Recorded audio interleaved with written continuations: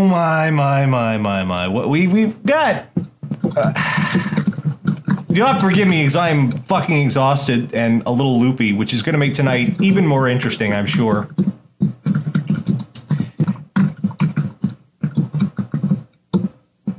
Are you sending a telegraph there? I'm allowed typer. It's not news that I'm a loud typer. And I have like the quiet keyboard even. Well, that's a uh, I lie. type I type with two fingers. I type with this finger and this is gonna look like I'm doing it for effect, but I'm not. And I type with this finger. well, you picked the right ones. Yeah. All right, shall we get started? Why do you need a nap? What, me? They're saying you need a nap. Yeah, I've been up a long. I've been up like since four, I think, Oh, a.m. not p.m. I've been working, okay. making stupid videos for money. Internet.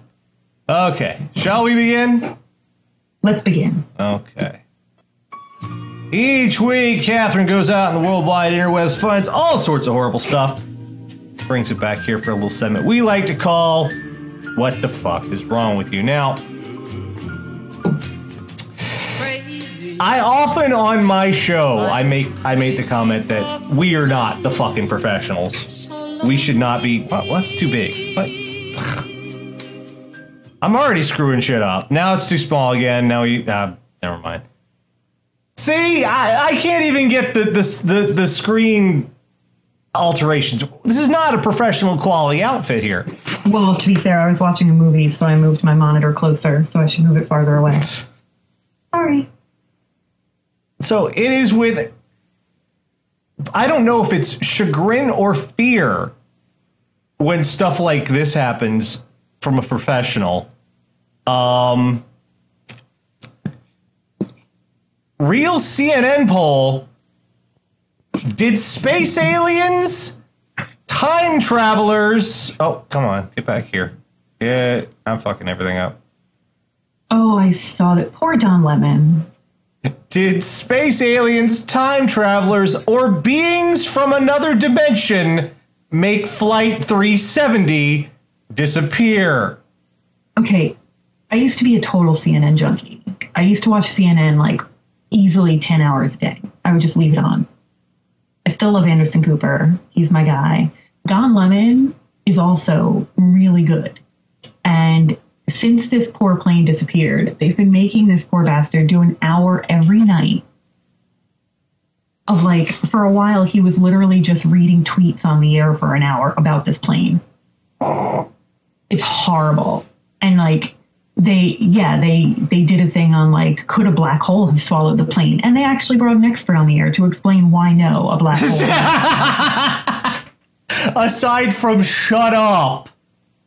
this is our news. I know, I mean, here, I. Like, I minored in journalism. This hurts me. This hurts me right here. Tara, you realize we're we're more professional and and better at informing the public than CNN. Let's not get crazy. We're informing the public not to guns up their vagina. Okay. It's an important it, it's an important message. It needs to get out there. I don't think we're in the same market. Well, now that we've uh, we've covered that quick one, let's get to the actual meat of the nonsense. Um, Mile High Club. I I every Are you going to tell us you remember? Regardless, everybody you, know it's that wasn't a denial. everybody talks about this damn thing, and it's that one thing that you're you always wonder how do people get away with that, especially on a long flight. Because have you ever done and uh, like across? Yeah, you've done cross Atlantic. Flown to Ireland. That's a long flight. You get in the middle of the night, it's dead quiet on there. Oh, yeah. So I that's that's why I don't understand the Mile High Club. It's not for screamers. It's really not not for screamers. A drunken British woman busted for allegedly having loud sex on Las Vegas flight. The woman in her Well, all twenties. right. Go her. it gets worse. Uh, was cuffed after flyers complained of hearing loud sex noises coming from the plane's restroom, and the crew busted the door down. The woman also hurled names at the crew members. All this took place as she was allegedly traveling with her parents.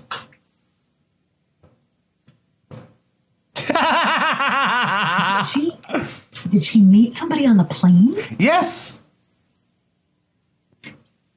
Okay, look.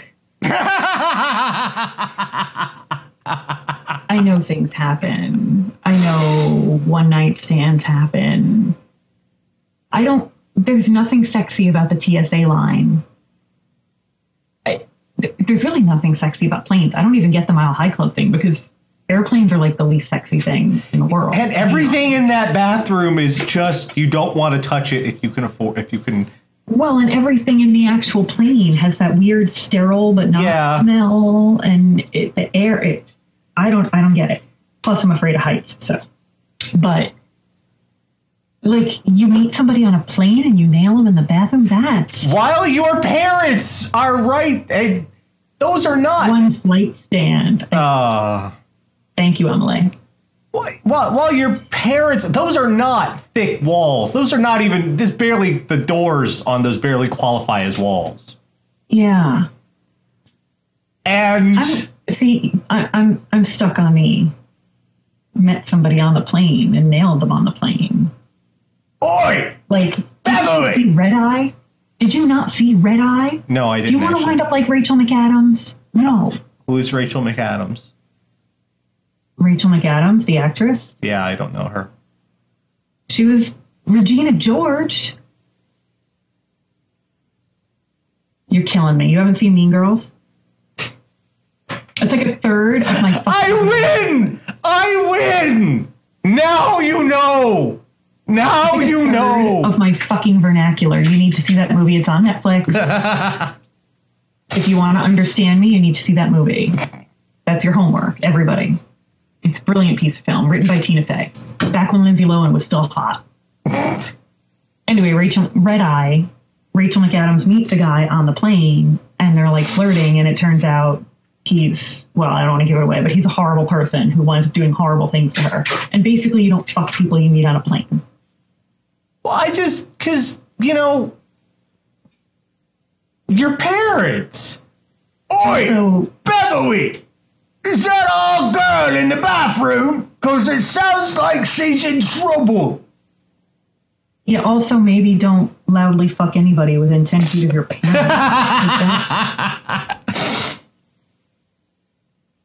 She was so loud they broke the door down. They obviously thought there was something wrong. well, no, not necessarily. So, yeah, um, I've got more bad schooling. Where is Liam Neeson when you need him? Guy with a username that's all letters and numbers? He's doing the Lego movie. Um, so we got more stuff from the the uh, schools, and it's from California, which big fucking surprise.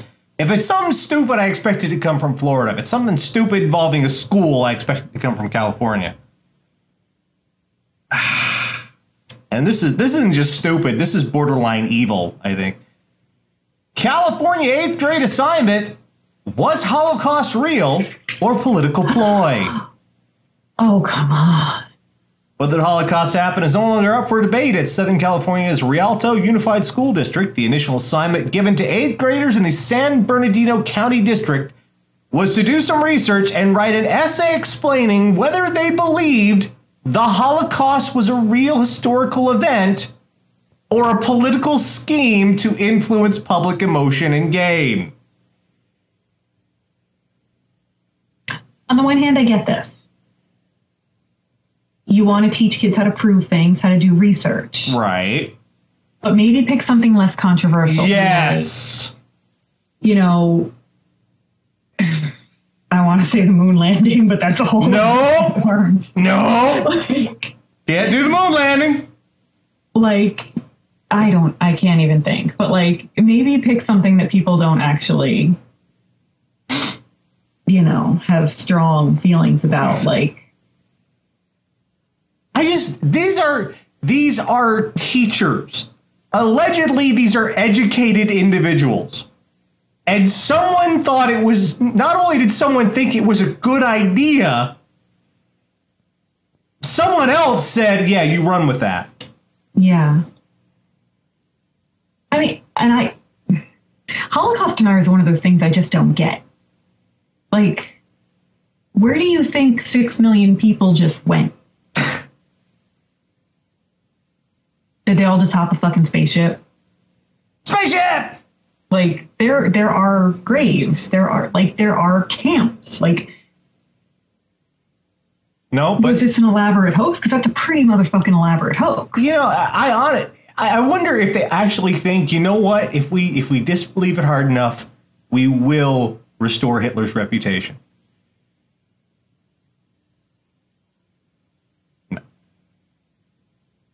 But Craig Ferguson does a bit about how uh you know, sometimes we like latch on to things that are insignificant about people.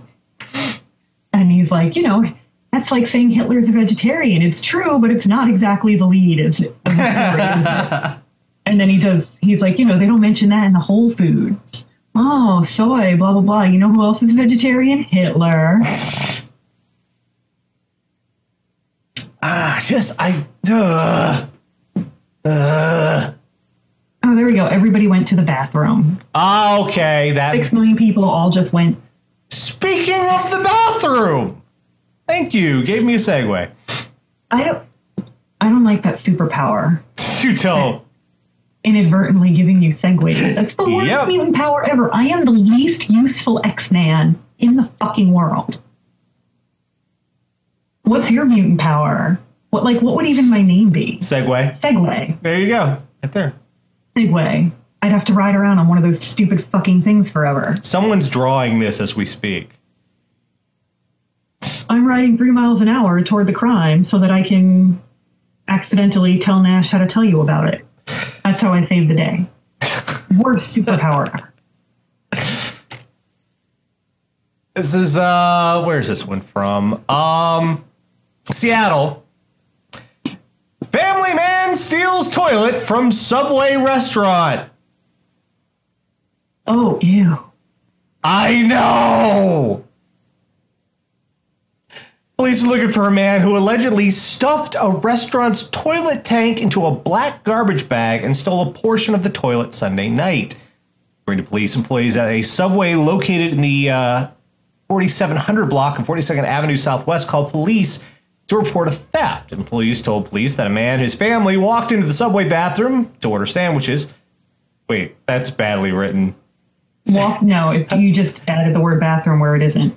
Walked no no I did. Employee employees told police that a man and his family walked into the subway Oh. bathroom to order sandwiches. All right, never mind. It's badly written. I've never ordered sandwiches in the bathroom before. I didn't know they offered that service. I don't think I'd partake in that service. While employees made the sandwiches, the man went to the bathroom and was gone for quote quite some time. The man was gone for so long, the man's wife and children left without him. Short time later, police say the man emerged from the bathroom carrying a large black plastic garbage bag and quickly left the restaurant. They later walked into the bathroom and found the toilet tank missing. The still running bathroom sink was also stuffed with paper towels, and the bathroom key was stolen.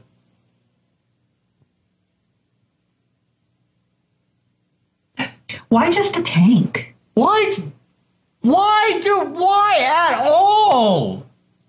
Well, clearly he wants to be one of the wet bandits, which is why he left the sink running. I think that's obvious. Clearly, this was either Joe Pesci or whatever that other guy's name is. Of But all? why just the tank? Why? How do you? I can, I didn't even know you could take the tank off a toilet and leave the rest of the toilet there. I thought it was all one piece. I. How did no one else go into the bathroom in that entire time? Well, no, uh, most subway bathrooms they don't have stalls. It's just a single bathroom. Oh, it's a one per. Oh, well, at that point, I'd be like, after like an hour, I'd be like, hey, you dead? Hello? Because, you know, Oh, haven't you seen Clerks? You check. you check. You fucking check because somebody might actually die in there. Yeah.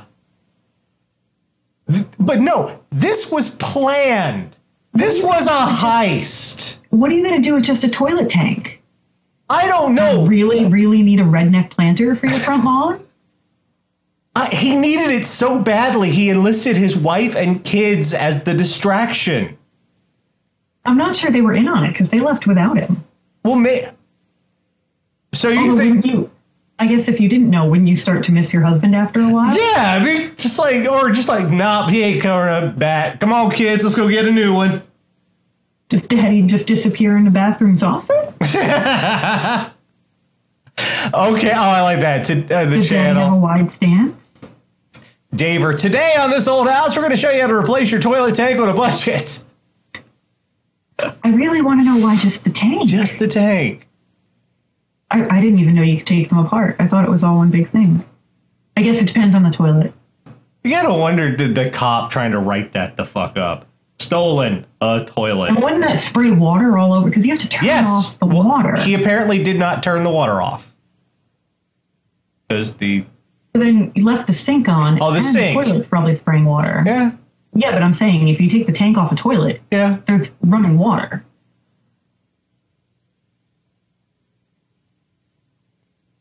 I don't know.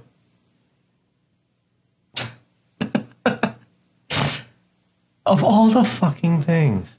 Maybe he left a five dollar footlong in the wrong place and was trying to get rid of the evidence.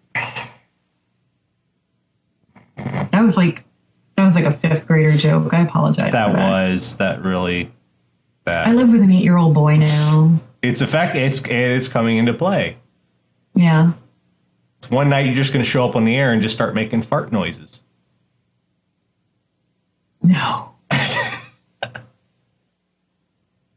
So we have we we've seen many attempted robbers. Taking the to taking the loo to the poo. Little inversion Don't do that. He'll play that video again. I will. I totally will. He'll do it. It was magic. We all enjoyed ourselves. He'll let the monkeys out. Um, So we've seen the the uh, attempted robberies that have gone ridiculously wrong, like the one who tried to to rob the place from the other ahead. side. Yeah, the call head. I will give the, this next guy. He at least went by the book. He just should have been a little bit more careful about the materials he used as part of his plan. Note demanding money written on grocery receipt. Lead oh. Oregon police to bank robbery suspect. Yeah. Contain the last four digits of a food stamp account. Which led to the suspect's name and phone number. The telephone service provider came up with coordinates of the phone's location. Bulletin newspaper. That's where uh, Bend police arrested 54 year old Robert Short on theft and robbery charges. He denied the charges, saying he never keeps receipts and would have thrown it in the trash where anyone could have picked it up. That is a possibility. I mean, how many receipts do you throw away a day that have like the last four digits of your debit card on them? The store I work at, we take people's names. Your name is on all your receipts. Yeah, but I'm pretty sure that the, the guy who Your sitting. name and the city you live in is on all your receipts, which is a little creepy, but That might work, except the guy sitting in the bank go, yeah, that's the dude. well, yeah. But I mean, as as excuses go, that's not bad. Except for the whole security camera and witnesses thing. Yeah, that kind of that kind of fucks. Up. But if you're going to make an excuse in that situation, that's a pretty good one. It's the You- best you can do, really. you would check this shit, man. Yeah, well, Dude, I would. moment, I guess you just reach for any. I mean, at least you didn't write it on the back of a check. No, no, no, no. You don't spur of the moment that shit. You get all the letters from magazines and you make that that note at home and then you scan it and you make a copy of it so you don't have the original letters. You've put a lot of thought into this. I watch so many cop procedurals. It's not even funny.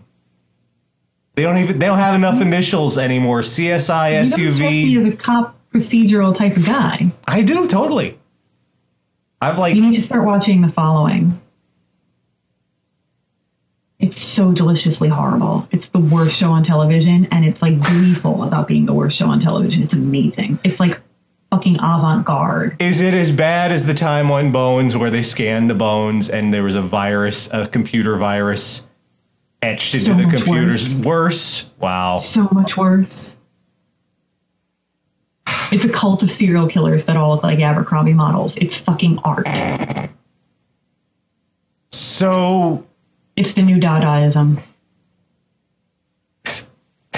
It's proof that life is meaningless. you keep setting me up here. You need to stop. I, I'm not. I don't even have to. Dadaism, really? Life is meaningless. Just dance naked in the street. They were nihilists, man. They kept saying they didn't believe in anything. It was a bizarre, disturbing spectacle that grew a crowd of up to 30 people at a busy intersection in northwest Houston. Spectators pulled out their cell phones and began recording when they saw a naked man dancing in the median. Neighbors said he's been known to attract attention in nearby complex, but they never expected this. Um, parents at the complex said they were especially concerned because several children saw the nude man's performance. Okay, guys, I know you're looking out for your kids. I know you want to protect them. I know stranger danger. I, I feel you. I do. But I hate to tell you this, male or female, at some point in their life, your child is going to see another human being naked. It is going to happen. You can't stop it. Gonna have to deal with it. Here's the paragraph I enjoy. He was doing the Beyonce, the surfboard, twerking, the nene. Every dance that's out there right now, he was doing. Witness Chad, our I didn't know what was next. I didn't know what was next. Uh, I like that he went through all the. That, that almost sounds like what's that song? Do the mashed potato, do the twist. Um, Land of a Thousand Dances. yeah. Let's see. Let's see if we can have it. There we go. A video. Yeah, there's a very small video because I can't get it on the. Yeah, you can see very small bits here. The uh, the news report. There he Very is. small bits. Very Yeah. small bits. That's just, that's just juvenile. Very small, blurry bits. Um. Yeah, apparently, we have an answer about how he ended up there. I'm not even watching the video. I'm just looking at the still, and there's like this little girl in the background, just like, Really? and the thumb. Yeah, she's just like, All right, th- there we actually have an explanation of how he ended up there.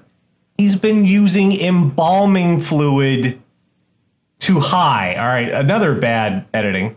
He's been using embalming fluid too high. can you do that? You shouldn't do that. What's in embalming fluid? Enough stuff that makes flesh not rot. That's enough right there to make me go, I don't want that anywhere near me while I'm alive. That would be bad. That would. My body would not like that. The lengths people will go to to get high really, really. Embalming fluid. Are we really right? the? Uh, are we running out of the other drugs? Are we out? This we're gonna have to add this to our list of like our our Ten Commandments. No one wants to see your dick. There's nothing sexy at the Walmart. We still have plenty of drugs. The old drugs still work. The old drugs still work. The old drugs still work. Just smoke a joint. Just It's it, okay. it- we can go check in the back. I'm sure we have more in stock. Just go to Colorado. It's legal now. Just get a huge bag of weed, and the worst thing that's going to happen to you is you're going to eat a lot of Cheetos.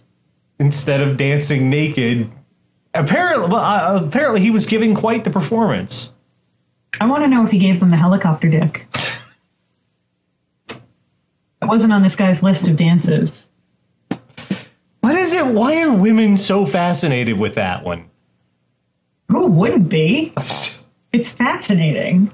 Come on.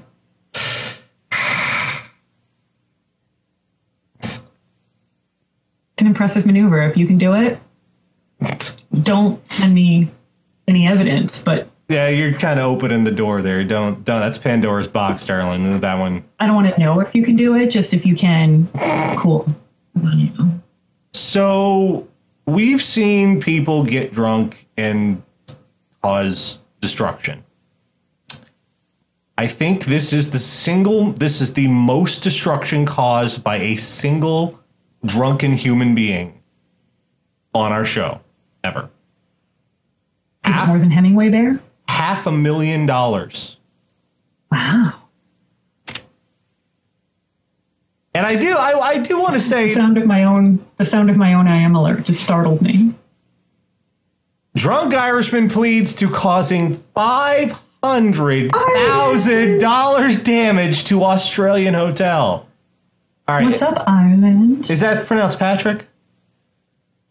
No, it's good. Potterick. Patrick. Okay. It's the Gaelic for Patrick, but it's Potterick. It depends on the region. Some in some areas the D is silent, in some it's not. Well, Padraig Gaffney tw- turned on a fire hydrant valve and flooded the building while drunk. Gaffney woke up in a daze before staggering outside his room, staggered down the emergency exit stairs to the eighth floor, where he turned on a fire hydrant valve and flooded the building, causing more than half a million dollars in damage. Yes, the hotel had to be evacuated, and the fire brigade was called as a drenched Gaffney returned to his room. When police later knocked on his door, his hair was still dripping wet, but he had no memory of the incident. And you know what? Still better than the guy who wandered in the lobby with the end of the fire extinguisher. Off his ass! Oh my god! Because that's a thing that happened in reality. That did, that was on our show. I just, it. Oh, apparently, a drunk Gaffney woke up just after midnight, walked down the hallway, and urinated.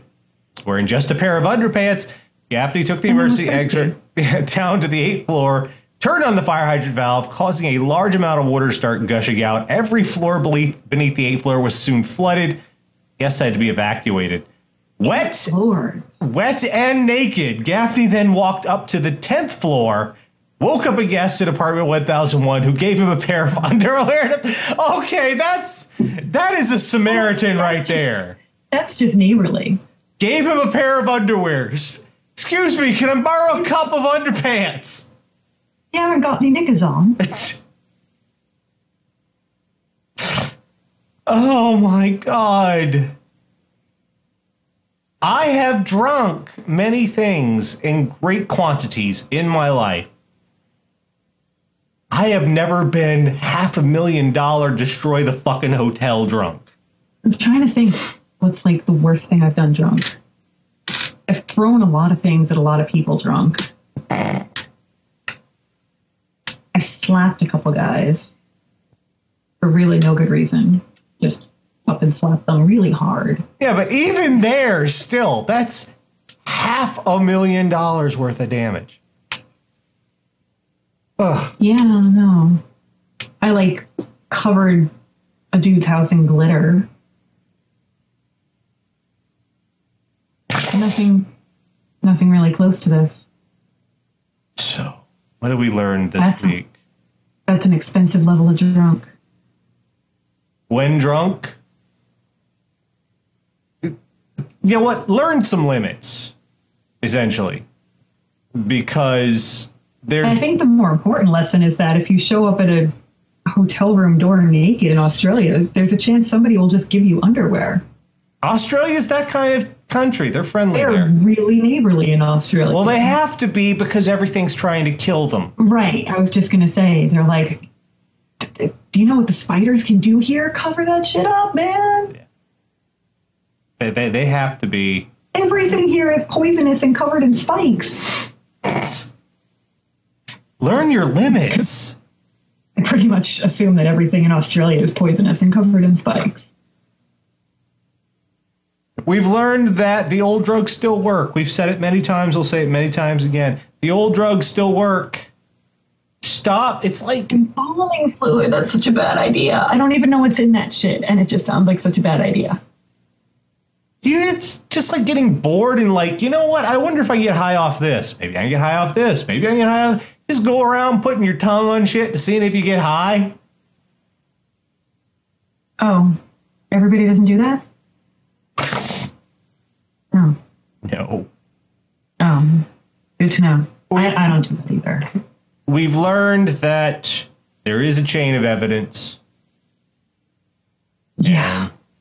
Try not to use anything with your name or account numbers on it to rob places. Because you can say, no, I totally threw that away, and it would work, except they saw you. Well, I honestly, at that point, does the receipt matter? You're on camera. No, no, I can explain. I can explain the receipt. Okay. Yeah. Does it matter at that point? I don't think it does. We've learned that people will steal anything that's not nailed down and some things that are. Yeah. A toilet tank. Just a tank. From a, and here's the thing. I mean, I'm betting most people go out of their way not to ha- even touch a public toilet, to Yeah. have as little skin contact with a Yeah. public toilet as possible, let alone to touch it enough to steal it and then bring it home. And I love how he like put it in the plastic bag like he was being subtle. Like, why don't you just go around and lick everything and experience all the bacteria? I wonder if this toilet. I wonder if this toilet can get me high. We learned that Oh, well, actually, Mythbusters prove that your average kitchen sponge has about 100,000 times the bacteria of a toilet seat. My nephew's really into Mythbusters these days. It's been very educational. Pretty much everything in your house is grosser than your toilet seat. we've learned there are still people trying to do PR for Hitler all these years later. Hmm. Write a report proving that grass is really green. Yeah, anything, anything. Just don't involve Hitler. Don't don't bring Hitler into it. it it's better just to if it's got Hitler, get, look for the Hitler-free section. You know, just try and stay away from the shit that because I get probability just supports that there's at least one Jewish kid in that class. And does that Jewish kid need that shit? No, that Jewish kid does not. On top not of- saying that that kid's not saying that that kid's oppressed in his daily life, but that kid just doesn't need that shit. also if he's got a, a Like- if he's got a relative who's a survivor, that could make for an awkward parent-teacher conference. Makes for a slam dunk on that report, though. Yeah, uh, Holocaust. I was there. Give him an A. Done. And finally, we. Holocaust. Excuse me. In type. And finally, we learned tonight. If you're a screamer, you're probably not eligible for the Mile High Club. Don't don't fuck people you meet on planes. Well, maybe later. You know, after the third date or something. But not right there and then. I mean, at least wait till after the bad on air on board meal. Ugh, Bath in the bathroom. Because here's the thing: if it's really bad, you're trapped with them for like another four or five hours. If something really humiliating happens, if you can't get it up, if it just is bad, you're trapped in a metal tube with them at 35,000 feet for a number of hours.